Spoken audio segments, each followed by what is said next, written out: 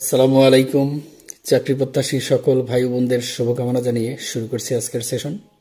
আজকের মডেল টেস্টটিতে আপনারা যারা অংশগ্রহণ করবেন, কয়টি প্রশ্নের সঠিক উত্তর দিতে পেরেছেন তা অবশ্যই কমেন্ট করে জানাতে বলবেন না।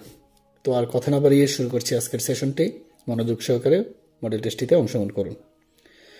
কোন ভাষা থেকে বাংলা ভাষার জন্ম? প্রাকৃত ভাষা থেকে বাংলা ভাষার জন্ম। নাম্বার দুই কোনটি চলিত ভাষার নিজস্ব বিশেষ বৈশিষ্ট্য?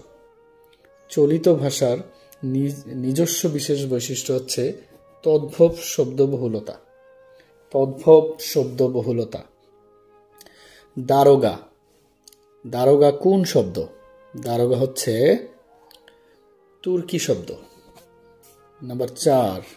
শুদ্ধ বানানে রচিত শব্দটি নির্দেশ করুন।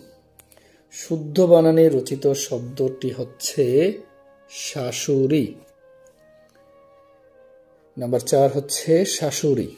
বানানটি দেখে রাখুন। তালব্যস্বয় একাশা তালব্যস্বয় উকার এবং ঢুসুনো রয় শিকার নাম্বার পাঁচ, বাবুরচি কোন ভাষার শব্দ? বাবুরচি হচ্ছে তুর্কি শব্দ। বাবুরচি হচ্ছে তুর্কি শব্দ। নাম্বার ছয়, আদিষ্ট এর বিপরীত শব্দ কোনটি? আদিষ্ট এর বিপরীত শব্দ হচ্ছে নিষিদ্ধ। নাম্বার সাত, কপল শব্দের অর্থ কোনটি? কপল শব্দের অর্থ হচ্ছে গাল। নাম্বার আট, কোনটি সমার্থক শব্দ নয়? দেখুন, আটের হচ্ছে বিপণী। আর না হয় এখানে আলোয় আবাস এবং নিকেতন সবগুলো হচ্ছে সমর্থক শব্দ। তাহলে এখানে বিপণীটা হচ্ছে সমর্থক শব্দ নয়। নাম্বার নয়, পরভৃত শব্দের অর্থ কি? পরভৃত শব্দের অর্থ হচ্ছে কাক। কোন শব্দগুচ্ছে তৎসম, তদ্ভব ও দেশি শব্দ রয়েছে। খ, পুত্র, চামার, টুপর এবং জ্যোৎস্না। এগারো। পনস, কোন ফলের নাম? পনস হচ্ছে কাঁঠাল ফলের নাম। তাহলে কাঁঠালের সমর্থক শব্দ হচ্ছে পনস। বারো, কোনটি নিত্য সমাসের সমস্ত পদ? কোনটি নিত্য সমাসের সমস্ত পদ? এখানে হচ্ছে বারো, দেশান্তর হচ্ছে নিত্য সমাস। তেরো কলির সন্ধ্যা বাগধারাটির কি অর্থে ব্যবহৃত হয়? কলির সন্ধ্যা বাগধারাটি দুঃখের সূচনা অর্থে ব্যবহৃত হয়। চোদ্দ। কোন বানানটি শুদ্ধ? চোদ্দ হচ্ছে এখানে সমীচীন বানানটি ভুল, অর্থাৎ দুটোই দীর্ঘইকার হবে।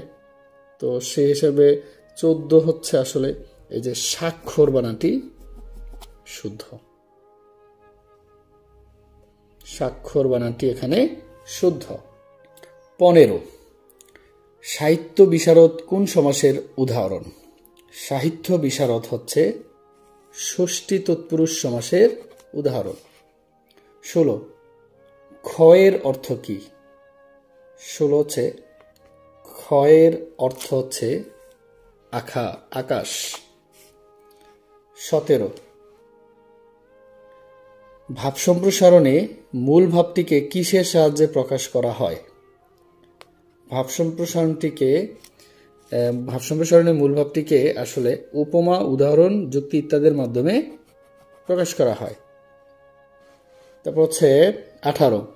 সাধারণত কোন সমাস সাধারণত সমাসে কোন পদে কারক বিভক্তি থাকে?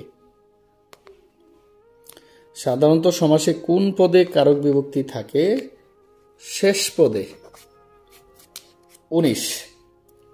সাদৃশ্য বুঝাতে অব্যয়ীভাব সমাসের উদাহরণ কোনটি?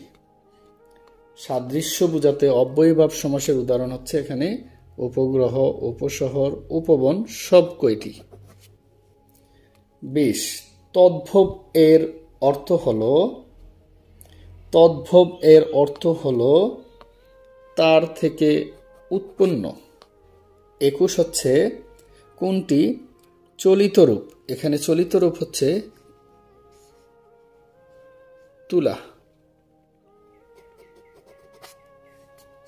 বাইশ। আধুনিক প্রযুক্তির যুগে চিঠির বিকল্প কোনটি? আধুনিক আধুনিক প্রযুক্তির যুগে চিঠির বিকল্প হচ্ছে ফ্যাক্স। তেইশ চিহ্ন বাক্যে ব্যবহৃত হয়। তেইশ নম্বরের আনসার হচ্ছে, বাক্যের অর্থ স্পষ্টভাবে বোঝানোর জন্য। নম্বর চব্বিশ, আত্মীয় স্বজন ও বন্ধু বান্ধবের নিকট লেখাপত্রকে কি বলা হয়?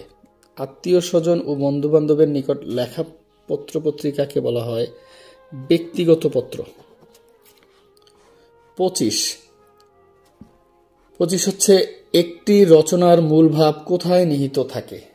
একটি রচনার মূল ভাব নিহিত থাকে সারাংশে বা সারমর্মে। সারা